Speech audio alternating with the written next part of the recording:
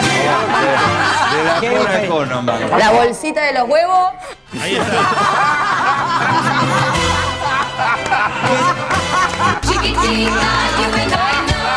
¿Qué tip tenemos hoy?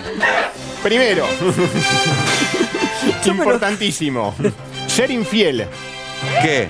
Ser infiel en el supermercado. ¿Por Ah, qué? Porque No hoy- casarse con ninguna marca. Claro, porque mañana y pasado tenés promociones en todos los supermercados, 2 por 1 3 por 2 entonces sin fiel en los supermercados. Anda uno, después te cruzás y te vas al otro, después te vas al otro, después al otro. Es genial, te vas a ahorrar muchísimo. Yo me estoy excitando porque yo me excito ahorrando. otra, Sí, eh, otra importante. ¿Es verdad que usted está mandando cadena de mails a sus amigos y demás, sugiriéndoles que los que están abonados a esta famosa serie, eh, cadena de series, Sí. Sí. eh, se anoten entre cuatro? ¿La compartan entre cuatro? Obvio, ¿Y elemental. ¿Cómo hacen? Que Pero tenés cuelgan. la clave, la compartís una vez para cada uno y ya Ah, está. con la clave. Claro, sí. Ojo, no solo eso, el wifi también. Socializás el wifi. O sea, vos estás en el cuarto A con el del cuarto B, cuarto C, Pero cuarto se D. hace lento. ¿Entre un cuántos wifi. pagan ustedes el wifi? Y este, menos de 100 pesos lo pagas así. No, pero ¿cuántas personas? Cuatro. Cuatro. Claro, sí, los del Claro. piso. En- y así te vas conociendo también. No, o sea, no pero después- eso, el cumpleaños, ¿no? Después me ¿Qué? contó un amigo mío que se pone lenta la página porno. Me contó un amigo. Es un detalle ese. Las nenas la nena lo no mejor pueden queda tener la todavía un cumpleaños a solas.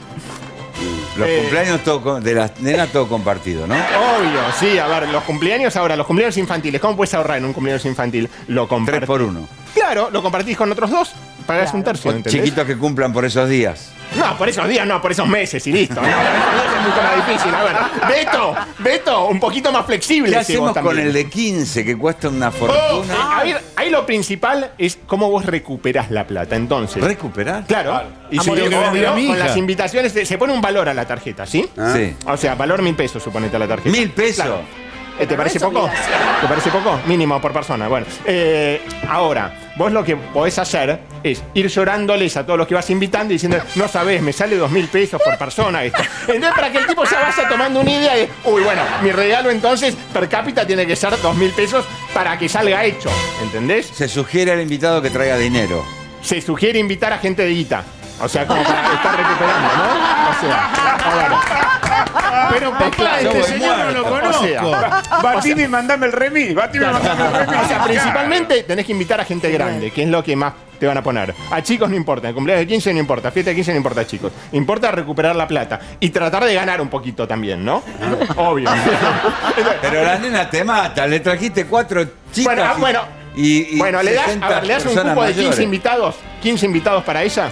Y después los otros te los pones vos según la cuenta bancaria de cada uno. Más o menos, ¿viste? Vos lo sabés, digo. Uno lo sabe más o menos quién tiene más plata y quién no. Bueno, se invita al que tiene más plata, obvio. ¿No?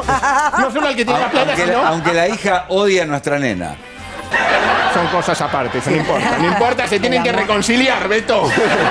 Es importantísimo eso. Eh, y después trata de congelar todos los precios. O sea, trata de ya prepagar todo. Lo máximo que puedas, anda prepagándolo ahora, ¿no?